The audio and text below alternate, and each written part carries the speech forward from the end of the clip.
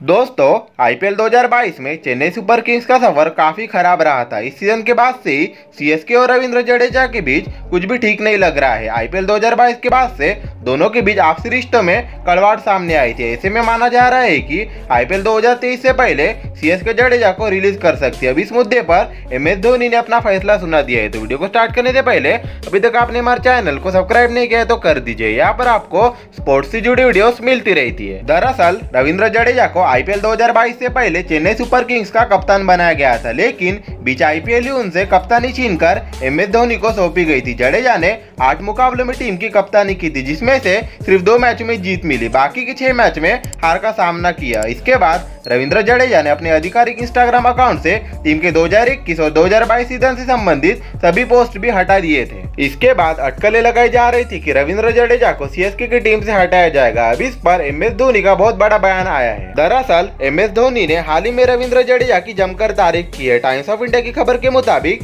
CSK के कप्तान धोनी ने मैनेजमेंट को साफ़ कर दिया है कि जडेजा को रिलीज़ नहीं किया जा सकता है। वो टीम के सबसे अहम खिलाड़ी और धोनी को लगता है कि कोई भी खिलाड़ी जडेजा की जगह नहीं ले सकते। तो दोस्तों, अब देखना होगा कि रविंद्र जडेजा सीएसके की टीम से रिलीज़ होते या उनके टीम में बरकरार रहते तो दोस्तों, आज की वीडियो में बस इतना ही। ऐसी स्पोर्ट्स से जुड़े वीडियोस के लिए शेयर सब्सक्राइब एंड लाइक मिलते हैं अगली वीडियो में।